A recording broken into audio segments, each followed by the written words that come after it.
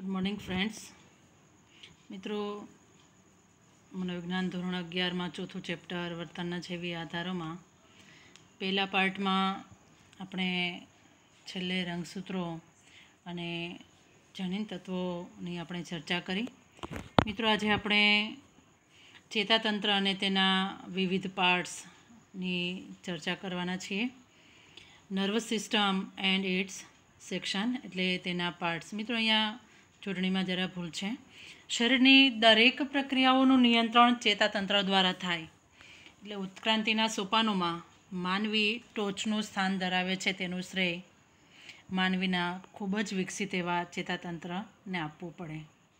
આમ તો ચેતાતંત્ર એક સળંગ એકમ તરીકે કાર્ય કરે છે, પરંતુ અભ્યાસની સરળતા ખાતર તેના જુદા જુદા વિભાગો પાડી અને દરેક વિભાગની રચના અને તેનું કાર્ય શું છે તેની સમજૂતી આપણે મેળવીશું. મિત્રો, ચેતાતંત્રના મુખ્યત્વે બે ભાગ જોઈ શકાય છે.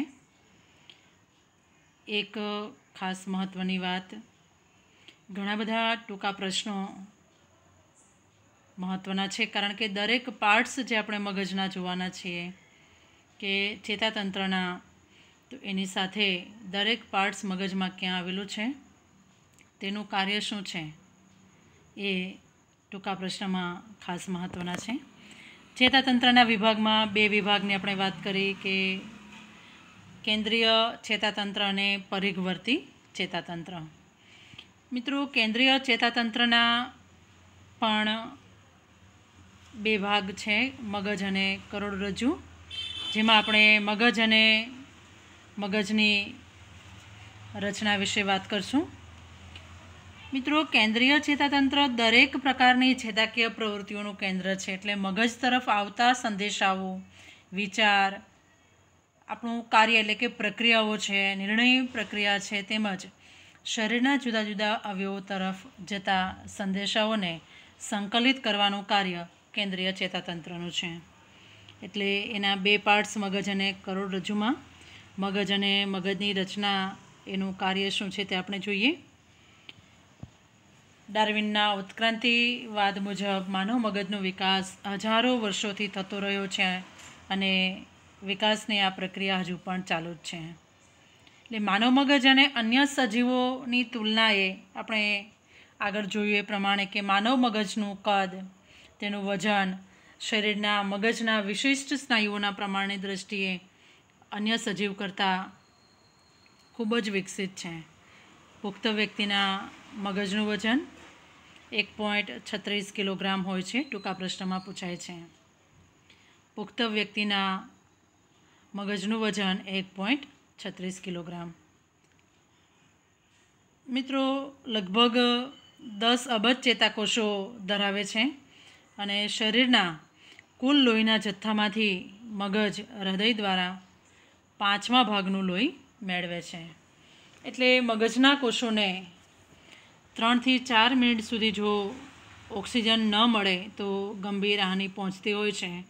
સાયકોલોજીમાં એના વિશે ઘણા બધા અભ્યાસો થયેલા છે, ખાસ કરીને એબનોર્મલ માટે, કે શા માટે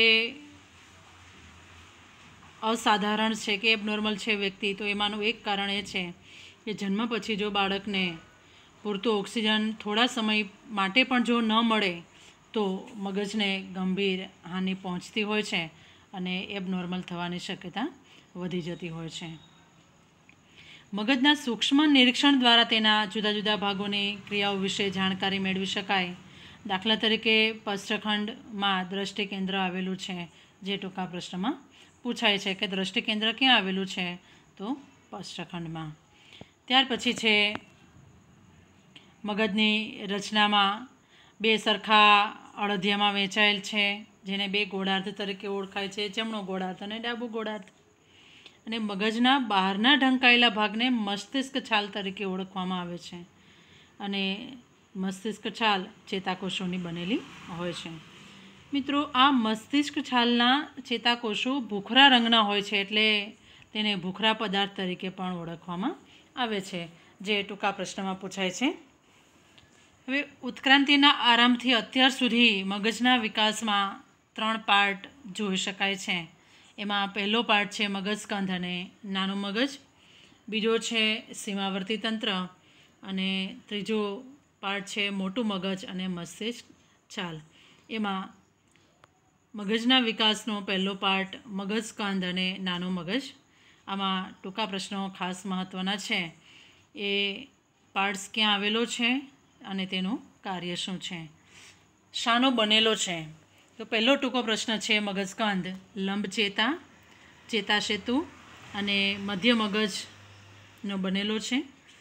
એનું કાર્ય શું છે? તો કે મગજકંદ શ્વાસોશ્વાસ હૃદયના ધબકારાને ચાલવા તેમજ ઊંઘવા જેવી ક્રિયાઓનું નિયંત્રણ કરે છે. એ ઉપરાંત ચેતાસેતુ નાના મગજ સાથે જોડાયેલ હોય સ્વપ્નો અને ચાલવાની ક્રિયા સાથે પણ સંકળાયેલ છે.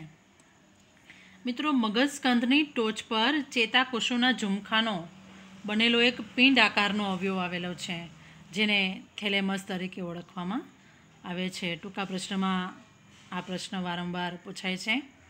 મિત્રો, અહીંયા આકૃતિ નથી આપી, પણ તમારી ટેક્સ્ટબુકમાં પેજ નંબર તેતાળીસ પર સરસ મજાની માનવ મગજની રચનાની આકૃતિ આપી છે. એટલે સાથે રાખીને જોવાનો પ્રયત્ન કરશો તો વધારે તમને આઈડિયા આવશે. ફરીથી મગજકંદની ટોચ પર ચેતાકોષોના ઝુમખાનો બનેલો પિંડ આકારનો એક અવયવ અવયવ આવેલો છે, જે થેલેમસ તરીકે ઓળખાય છે. થેલેમસ બે મસ્તિષ્ક ગોળાર્ધ વચ્ચે આવેલ છે. તેનું કાર્ય દ્રષ્ટિ એટલે કે જોવું, સાંભળવું, સ્પર્શ, દબાણ અને પીડા જેવા સાંવેદનિક સંકેતોને ગ્રહણ કરી અને મસ્તિષ્ક છાલના ચોક્કસ ભાગ સુધી પહોંચાડવા. એટલે થેલેમસને, થેલેમસનું કાર્ય છે રિલે સ્ટેશનનું કાર્ય છે. ફરી બીજો ટૂંકો પ્રશ્ન. રિલે સ્ટેશનનું કાર્ય કોણ કરે છે? તો થેલેમસ. મિત્રો, નાના મગજ, મોટા મગજની પાછળની બાજુએ આવેલું છે નાનું મગજ અને તેનું કાર્ય શરીરના હલનચલનનું નિયમન કરવું, સંકલન કરવું અને સરળ બનાવવામાં મદદરૂપ થાય છે. એ ઉપરાંત ખૂબ જ મહત્ત્વનું કાર્ય છે હલનચલનની તરેહોની સ્મૃતિને સંગ્રહ, સંગ્રહિત કરે છે. એટલે ચાલવું, દોડવું, નૃત્ય કરવું અથવા તો સાયકલ ચલાવવા જેવી ક્રિયાઓની આપણે એકવાર ટેવ પડ્યા પછી એ ક્રિયાઓ પર ધ્યાન આપવું પડતું નથી. બીજો પાર્ટ છે એનો સીમાવર્તી તંત્ર. મિત્રો, સીમાવર્તી તંત્ર પ્રાચીન સસ્તન પ્રાણીઓના મગજના આકારને મળતું આવે છે. એટલે જૂના મગજ તરીકે પણ તેને ઓળખવામાં આવે છે. મગજકંથ નાનું મગજ અને કરોડરજ્જુ ધરાવતા અન્ય સસ્તન પ્રાણીઓમાં અને પેટે ચાલનારા પ્રાણીઓમાં પણ સીમાવર્તી તંત્ર માનવી સિવાય પણ જોવા મળે છે. એનું કાર્ય છે શરીરનું તાપમાન લોહીનું દબાણ લોહીમાં શર્કરાનું પ્રમાણ જેવી શરીરની આંતરિક ક્રિયાઓનું નિયમન કરવાનું કાર્ય સીમાવર્તી તંત્ર કરે છે. એ ઉપરાંત મસ્તિષ્ક છાલમાંથી નીકળતા અને મસ્તિષ્ક છાલ તરફ લઈ જતા સંદેશાઓનું સંકલન કરવાનું કાર્ય પણ સીમાવર્તી તંત્રનું છે. એ ઉપરાંત સીમાવર્તી તંત્ર હાઇપોથેલેમસ સાથે પણ ગાઢ રીતે સંકળાયેલ છે. એટલે હાઇપોથેલેમસ દ્વારા થતી કેટલીક સાહજિક, સહજ જે પ્રતિક્રિયાઓ છે, આવેગિક પ્રતિક્રિયાઓ છે, એને અવરોધી અને આ ક્રિયાઓ પર તે વધારાનું નિયંત્રણ કરવાનું કાર્ય કરે છે. ટૂંકા પ્રશ્નમાં પૂછાય છે, સીમાવર્તી તંત્ર હિપોકેમ્પસ એમિગડાલા અને હાઇપોથેલેમસનું બનેલું છે. મિત્રો, બહુ મહત્ત્વનો પ્રશ્ન છે. અને એ ત્રણેયનું પાછું કાર્ય શું?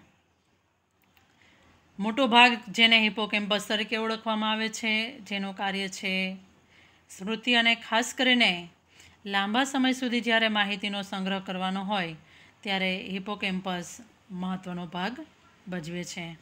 એમી ગડાલાનું કાર્ય છે એ આક્રમકતા સાથે સંકળાયેલું છે.